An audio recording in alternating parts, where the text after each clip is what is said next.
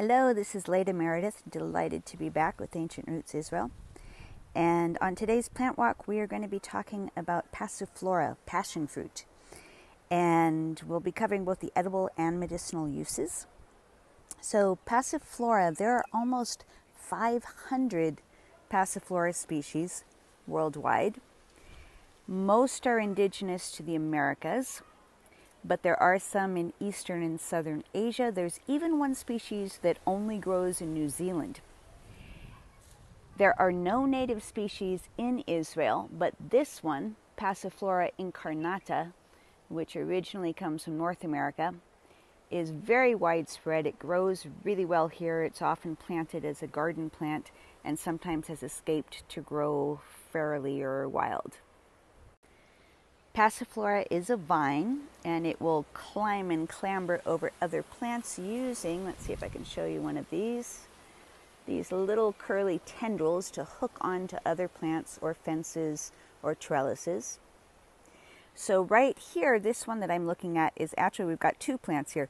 This is the Passiflora vine and this smaller leaf plant is the bush that it's climbing over.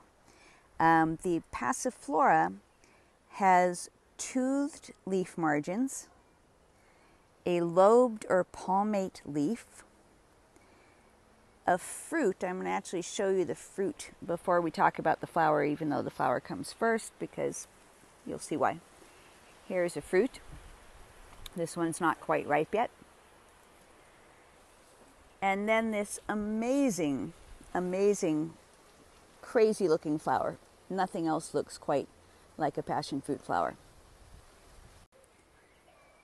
Passiflora, which means passion flower, passion fruit, got its name when in the 17th century Christian Spaniards who were conquering the Americas first encountered it.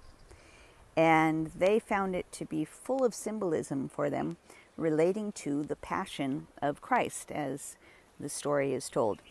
They thought that these tendrils looked like the whips with which he was beaten they thought that the 10 white petals, if you can see there are these white petals in the back, the bottom layer, represented the 10 faithful apostles, that this purplish and white layer of filaments here represented the crown of thorns that he was forced to wear, that the three pistils in the center were the three nails that nailed him to the cross and so on and so forth, all kinds of symbolism. So, hence, um, Passiflora, passion flower, uh, named by the Spaniards in the 17th century for the Passion of Christ.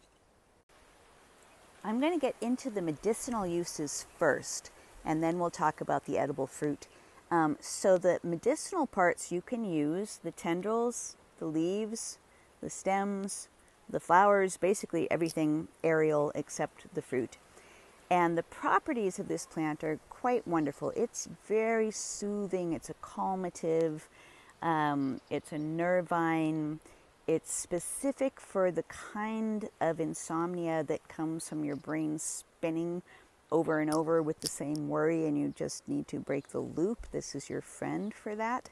It is also an anodyne, meaning pain relieving. Uh, it is also anti inflammatory. So the combination of pain relieving and anti-inflammatory means it's excellent for like a twisted ankle or any kind of impact injury like that. Um, and yeah, as I mentioned, it's also used for insomnia. It's used for anxiety and depression. It's used for menstrual cramps and PMS moodiness and also menopausal moodiness um, all of these, it's often combined with other herbs and it does really well in combination with other herbs. So I might, um, for example, if I was giving it to somebody for PMS symptoms, I might combine it with motherwort, which is also might be a nice combination for depression. Um, if I was doing it for insomnia, depending on the cause of the insomnia, I might combine it with valerian or hops or even chamomile. It is used fresh or dried as an infusion or a tincture. And if you want more specific information about ratios and dosage for the infusion and the tincture, I highly recommend chestnutherbs.com. That's chestnutherbs.com. And they have a lovely article on Passiflora with very, very detailed information about dosages. It is considered safe for children and uh, has been used when kids are basically climbing the walls and you want them to calm down a little bit. Um, the dosages are different, so do check out that dosage information at chestnutherbs.com.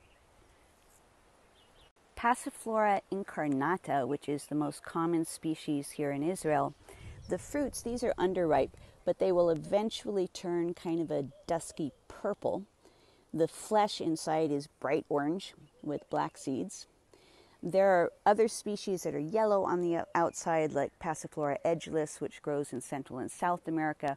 The flesh and the flavor and the uses of the medicinal parts are very similar between all of them. One thing that's interesting, though, is we in modern times use the leaves and the flowers as medicine, and we eat the luscious fruits but there are ethnobotanical records of the Cherokee and other Native Americans using the roots of Passiflora externally. They were used to draw out splinters and thorns and reduce the inflammation and redness caused by splinters and thorns. They were rubbed on the teeth and gums of babies that were teething and generally used as a, as a poultice or a compress, an external application. So here is a passion fruit that I harvested, and it's basically a sacrifice to this plant walk because you can see it's completely green, no hint of the purple that it will eventually have, and also you can't tell this from the video, but it feels light, and I, that lets me know that the pulp, that beautiful, delicious orange pulp inside, has not developed yet. Um, so if I cut this one open full size, this is about the size you want but no hint of purple yet and feeling light, it's going to look like this. And you can see that there's this thick layer around the rind that will stay, but there's no orange pulp yet in the center. Now, if I wait and harvest this this size, but when some purple streaks have started to form on it, I don't actually have to wait for it to get all the way purple on the vine. As long as it is showing some purple, I can save it at room temperature on a counter for a few days. It will turn completely purple. It may even get a little wrinkly on the outside. And at that point, when I open it up, it'll be full of that delicious aromatic orange pulp.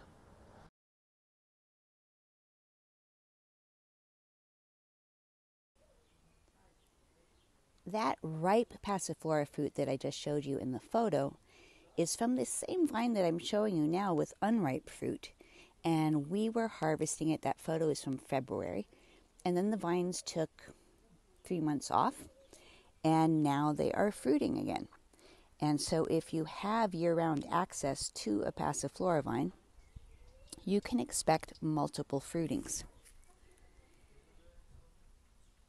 Once you've got some ripe passiflora, you can just cut it in half and slurp up the pulp and the seeds. The seeds are perfectly safe and edible altogether. Um, but if you want to use it in a recipe, or I mean, it's fantastic in fruit salad, in muffins, in my favorite chia pudding, which I'm about to give you the recipe for uh, you will want to remove the seeds. And the seeds do kind of stick to the pulp or vice versa. So here's a little tip that I got from a friend in Hawaii where passiflora is called lilikoi. Put the pulp, seeds and all, scoop it out of the shells in a blender and pulse 10 to 15 times. Don't leave it running because that'll grind up the seeds, but just pulse and it detaches the pulp from the uh, seeds. And then it's very easy to just strain through a strainer or a colander. And now you have just the luscious aromatic pulp and juice.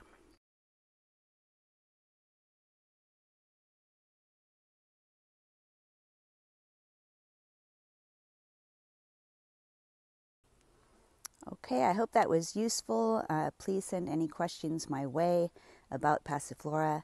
And please do check out my website. I'll provide the link uh, in the next bit. Um, also, my YouTube channel, there's more plant videos, recipes, uh, info about my books, etc. there. So please do check that out. And it's been a pleasure sharing this plant that I love with you.